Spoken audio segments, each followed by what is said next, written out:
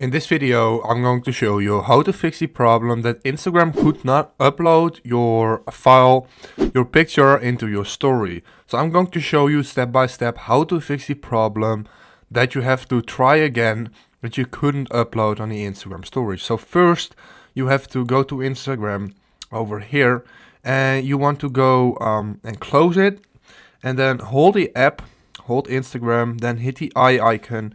Then you will be brought over to the app information. And here you want to go to permissions and you want to make sure that you allow everything. So if there are some um, apps denied like contacts or camera, make sure to allow it.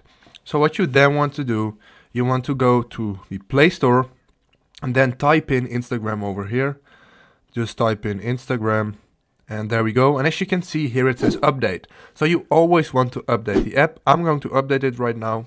It's going to uh, install right now and I'll get back to you when it's done. So now we can hit open app and there we go.